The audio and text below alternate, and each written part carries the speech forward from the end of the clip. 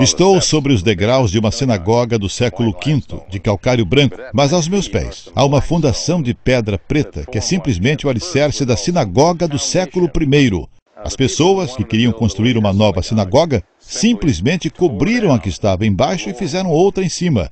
A sinagoga de cima não tem nada a ver com a vida de Jesus, mas a de baixo, presumimos que sim. A sinagoga era o centro vital na cidade. Aqui os rabinos liam o Torá, oravam e ensinavam. Como um bom mestre, Jesus também fez isto em Cafarnaum e ainda curou o homem com a mão aleijada. Alguns de seus ensinamentos incomodaram os líderes religiosos.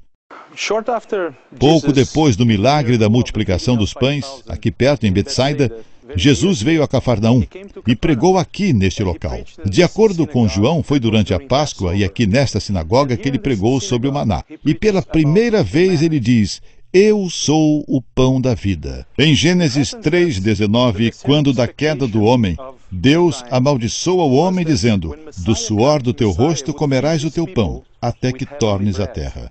Aqui Jesus cancela esta maldição, oferecendo-se aos homens como o pão da vida.